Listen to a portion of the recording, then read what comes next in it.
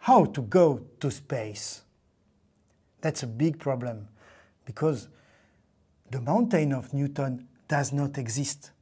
We have no support point. We cannot climb. That's vacuum. Nothing.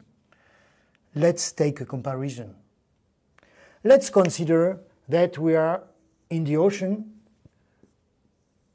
on a boat, far away from any seaside, alone on a boat, without any propulsion, any way to push the boat. Well, I take the first object that I find in the boat, a stone, for instance, and I throw it away as quick as possible. Then Mr. Newton says that the system being isolated, that's the drama, it is isolated. Its center of gravity remains fixed. So as the stones goes this direction, the boat goes this direction. This is called the reaction principle. It should be called the inertial principle. And the rocket works exactly this way. Let's consider a prototype of a rocket which looks a little, well, it's not a very pretty rocket. It looks like a whale, you know? And then it ejects gas at high velocity out of the rocket. So, as the gas goes this direction, the rocket goes this direction, and it works. Yes, but I have to compute this now. And it is Mr. Tsiolkovsky who computed this equation at the same year then the Wright brothers made their first flight, 1903.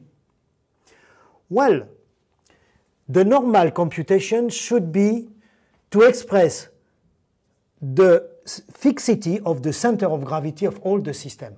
But we don't consider the gas. They live their own life, lost in the universe, this case. What is interesting is the rocket itself. But the mass of the rocket is not constant because it loses something. That's a lesson of spaceflight. You cannot go ahead without losing and giving something. That's also a lesson of life.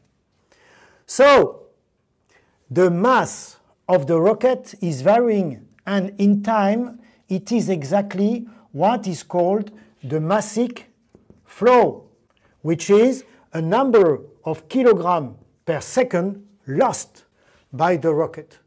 And then Mr. Tsiolkovsky applied the principle of Newton, the general principle of dynamic, which is m of t multiplied by the acceleration, which is the derivative of the rocket velocity, which is what?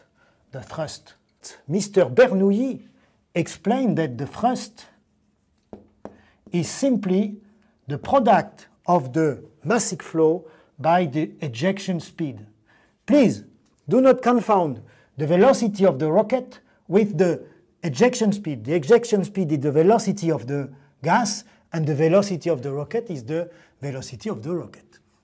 By integration of these two equations, it's very simple, if you know the logarithm, that on a combustion phase, you find that the final velocity of the rocket minus the initial velocity, which is called the delta v, is simply the ejection speed multiplied by the log of the initial mass on the final mass. And that the formula which opens the door to space flight. We see two things. We need high ejection velocity and light structures in order to have the maximal ratio between the full and empty rocket. And that's the secret to access to space.